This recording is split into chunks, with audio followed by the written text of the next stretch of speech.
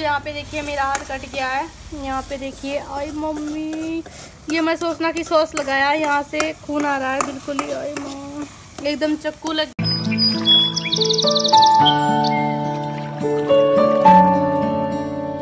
Hello guys, कैसे हो आप सब? आई होप आप सब बिल्कुल अच्छे होंगे और मैं भी एकदम ठीक हूँ। वैसे गाइस, मैं ठीक नहीं हूँ। मैं आज बहुत ज़्यादा दुखी हूँ, क्योंकि गाइस आप लोग मेरी वीडियो को बिल्कुल भी नहीं देखते। तो गाइज़ आज का जो ब्लॉग है, हम शुरू कर रहे हैं साढ़े नौ बजे से। अभी सुबह का टाइम है गाइज़ तो गाइज़ आप लोग मेरी वीडियो क्यों नहीं देखते? यार, मैं इतनी मेहनत कर रही हूँ, बहुत ज़्यादा। फिर भी आप लोग मेरी वीडियो नहीं देखते तो प्लीज़ गाइज़ आप मेरे चैनल को सब्सक्राइब कर लो और जो घंटी का आइकन है बेल आइकन है, उसको भी ज़रूर प्रेस करो, तभी मेरी जो वीडियो की नोटिफिकेशन है, वो आप तक पहुँचेगी। और प्लीज़ आप वीडियो को पूरा देखा करो। गाइज़ मुझे बहुत मेहनत लगती है एक वीडियो के लिए।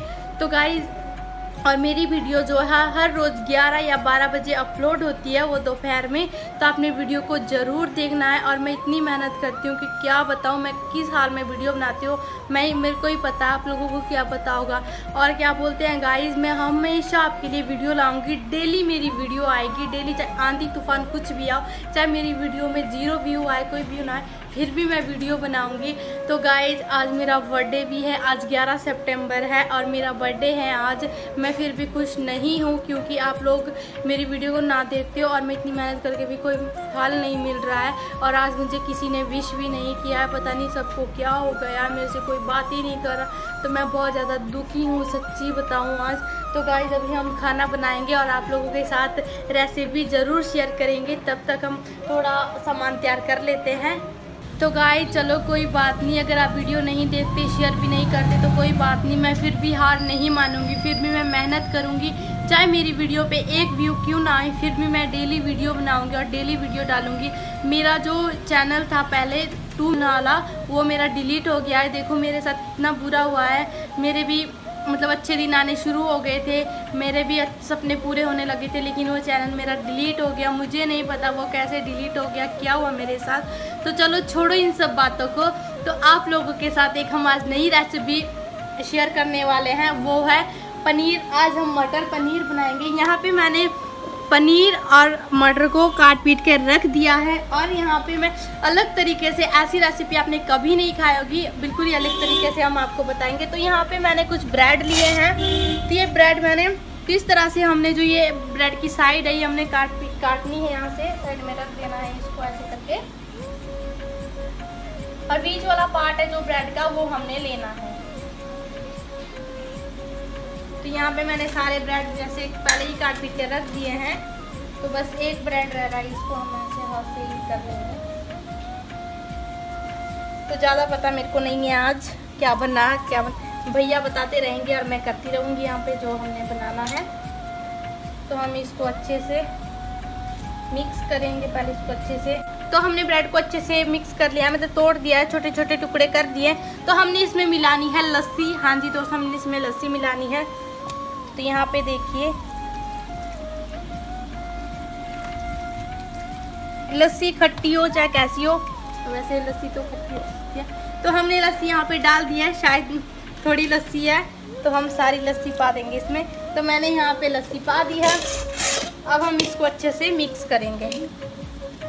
लस्सी को यहाँ पे अच्छी तरह मिक्स कर लिया है। यहाँ पे देख सकते हो, अच्छे से लस्सी मेल्ट हो गई है इसमें।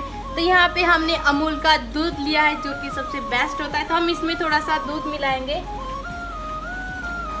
तो यहाँ पे दूध को हम साइड में रख देते हैं। हमने दूध भी इसमें डाल दिया है। तो ये देखो, हमारी सब्ज़ी। तो गाइज़ हमने आग जला दी है। बस हमारे आग बनने ही वाली है। तो यहाँ पे ये जो बचे हुए ब्रेड हैं, इनको हम, या हम इनके रसगुल्ले बनाएँगे, या हम इनको दूध के साथ ऐसे ही गटक जाएँगे। तो देखते हैं हम, इसके रसगुल्ले ज़रूर बनाएँगे। तो हम इनको स्टोर करके रखेंगे, हम इनको ऐसे ही वेस्ट नहीं करेंगे। तो हम इनको साइड में रख देते हैं। तो यहाँ पे देखिए आप, मैंने टमाटर ग्राइंड करके रख दिए हैं। ये देखिए हमारे टमाटर। और ये देखिए हमारी इसमें मैंने हरी मिर्च मिलाई है, प्याज प्याज और हरी मिर्च, इनको भी मैंने ग्राइंड करके रख दिया है। क्योंकि आज ये ज़्यादा मसाला मैंने इसीलिए तैयार किया है क्योंकि आज हमारे घर में दो दो सब्ज़ियाँ बन रही है। एक तो मटर पनीर की और एक छोले की सब्ज़ी बन रही है, आलू छोले, क्योंकि आज मेरा बर्थडे है। तो मैं बहुत ज़्यादा खुश हूँ, लेकिन मुझे अभी तक विश किसी ने नहीं किया और मैं खाना भी खुद ही बना रही हूँ अपने बर्थडे के लिए। तो गाइज़ आप भी ज़रूर आइए, आज मेरा बर्थडे है। और आप लोग मुझे बहुत सारी दुआएँ दीजिए कि मेरा चैनल जल्दी से वायरल हो जाए। तो हमारी जो आग है, वो अच्छे से तो हो है।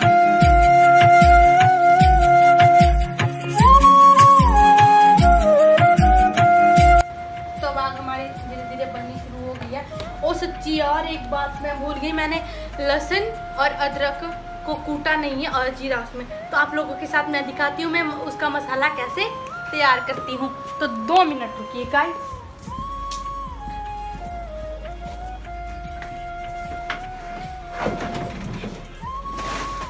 यार लहसुन मैंने यहाँ पे रखे थे।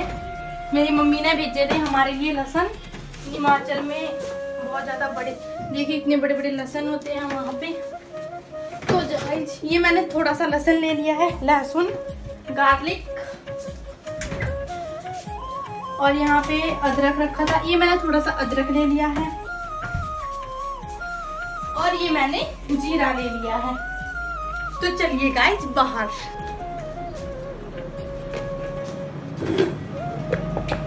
मैंने अपना सिलबट्टा पहले तैयार करके, साफ़ सुथरा करके रख दिया है। तो जल्दी जल्दी काम करते हैं। चक्कू कहाँ है?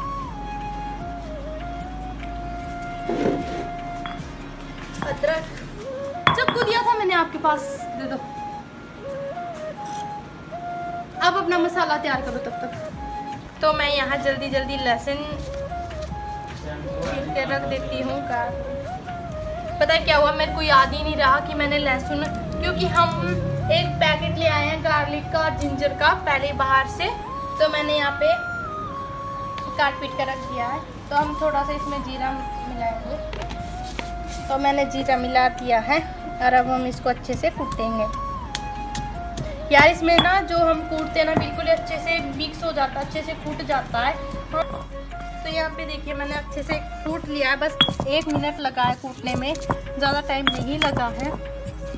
तो यहाँ पे ये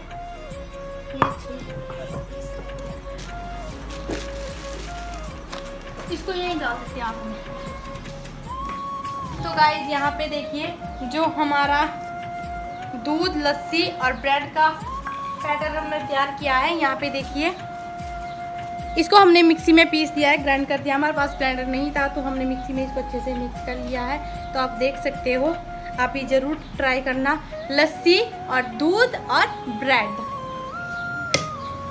बिल्कुल बनाना शेक की तरह लग रहा है, देखो। या फिर कोल्ड कॉफ़ी गाइस हमने यहाँ पे कढ़ाई रख दी है और हम, ये देखो हमारा तेल तो हम तेल भी दे तो हमने तेल डाल दिया, अब इस तेल को अच्छे से गर्म होने देंगे। तब तक मैं अपने मसाले बाहर आती हूँ। जैसे मैंने हल्दी भी नहीं लाई है, लाल मिर्च भी नहीं लाई है, गरम मसाला वगैरह। तो यहाँ पे देखिए मेरा हाथ कट गया है। यहाँ पे देखिए, आई मम्मी, ये मैं सोचना कि सॉस लगाया यहाँ से खून आ रहा है, बिल्कुल ही, आई मम्मी। एकदम चक्कू लग गया तो मेरा हाथ कट गया, मुझे बहुत ज़्यादा पेन हो रहा है। दवाई नहीं है कोई।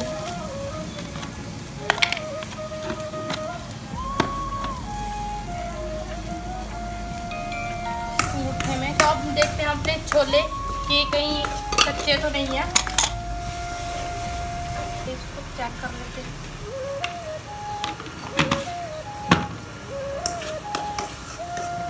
ये देखो आलू साहब आलू पता नहीं क्या किसी को पीछा ही नहीं छोड़ता। हर चीज़ में आलू आलू आलू।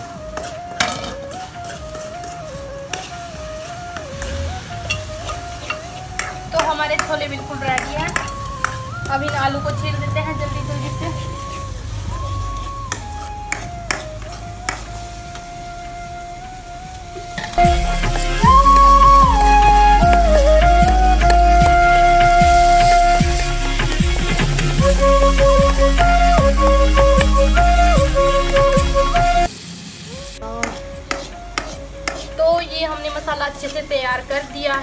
हम इसमें ये वाला पेस्ट डालेंगे। इसको अच्छे से मिक्स नहीं करना पहले क्या? तो गाय ये देखिए हमारी पनीर की सब्ज़ी, जो कि अब बननी शुरू हो गई है। अब इसको 10-15 मिनट पकने के लिए लग जाएँगे। मैंने इसको थोड़ा सा टेस्ट किया था, नमक टेस्ट करने के लिए। इतनी टेस्टी सब्ज़ी बनी है, सच में इसका टेस्ट है ना, बिल्कुल ही अलग टेस्ट है इसका। हम जैसे नॉर्मली बनाते हैं, हमने आज जो ये प्रोसेसर किया था इतनी अच्छी टेस्टिंग है मतलब बहुत ही अच्छा टेस्ट आया इससे तो गाइज़ आप भी ज़रूर ट्राई करना। अब हम आपको थोड़ी देर में छोले बन बताएँगे कि छोले की सब्ज़ी हम कैसे बनाते हैं। तब तक जब तक ये तैयार होता है, मैं आटा गूंद के रख देती हूँ, रोटियाँ पका देती हूँ। अमीर लग रही है यार खाने के लिए तो। गाइस आज मेरा बर्थडे है तो प्लीज़ आप भी ज़रूर आ जाओ। तो गाइस हमारी सब्ज़ी बनकर तैयार हो गई है। तो यार देखने के लिए बिल्कुल होटल वाला रेस्टोरेंट वाला। और अभी तो जैसे रेस्टोरेंट में बनती है बिल्कुल वैसे ही बनी है तो आप देख सकते हो। तो प्लीज़ आप भी ज़रूर ट्राई करना। वाह यार, खाने में इतनी ज़्यादा टेस्टी है ना, मैं आपको बता नहीं सकती। तो मैंने पहली बार सच्ची में मम्मा कसम, मैंने पहली बार ये रेसिपी देखी है और ट्राई करी है तो प्लीज़ आप भी ज़रूर करना। मेरा बर्थडे आज स्पेशल होने वाला है। देखो, अभी तक तो अच्छा ही रहा है दिन। पर भी किसी ने नहीं किया, पता नहीं किस तो सब्ज़ी हम उतार गए। अंदर ले जा रहे हैं क्योंकि